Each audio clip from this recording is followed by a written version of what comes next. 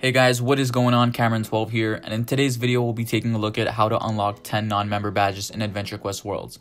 Now to clarify, these badges are available to all players of the game and are very easy to obtain. The only badge on this list that is seasonal is the Moglin Punter badge, which will be returning. Other than that one, the rest of the badges are available right now. Anyways, let's get straight to it with our first badge being the Committed badge.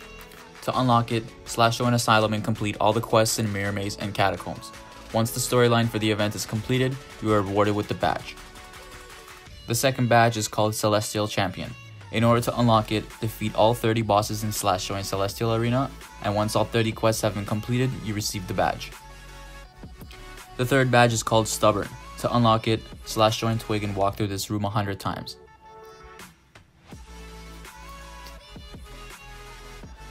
The fourth badge is called Cruxshadows Defender. To unlock this, complete the Cruxshadows 2015 Mogloween event. The fifth badge is called Mummy Slayer. To unlock this, slash join mummies and complete the only quest in the room called 100 Mummy Massacre. Turning this in rewards you with the badge, although to enter this room, make sure you've completed all previous quests in slash join Cruxshadows. The sixth badge on this list is called Stone Cold. To unlock it, complete the storyline in Slash Join Temple, and then complete the quest called Galvanize the Guardian by defeating one skeleton in Slash Join Mall. Once you obtain the required items, merge them into the Scroll of Cure Petrification, and then turn that in for the badge.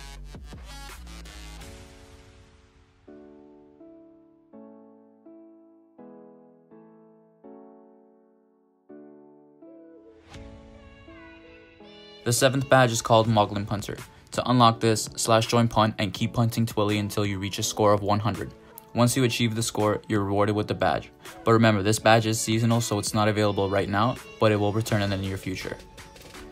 The 8th badge is called, Justice Squad. To unlock it, complete Nideria's quest in slash join battle on town. On top of the badge you receive from the quest, you'll also receive a pretty cool sword.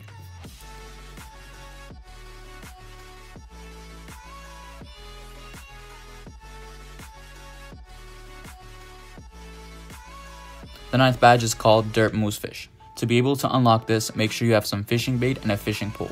Once you got those two items, keep fishing in the room slash join fishing, and if you're lucky enough, you'll see the shadow of the dirt moose fish in the waters. Once you see it, click on him and you'll receive the badge.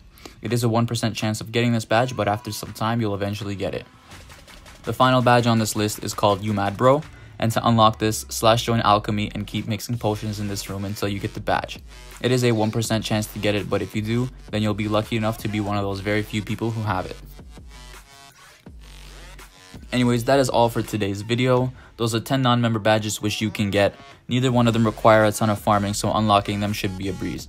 But yeah, if you enjoyed the video and learned something new, be sure to like the video, hit the subscribe button for future videos, and leave any comments or suggestions down below. My name is Kamran12, and I'll see you all in the next one.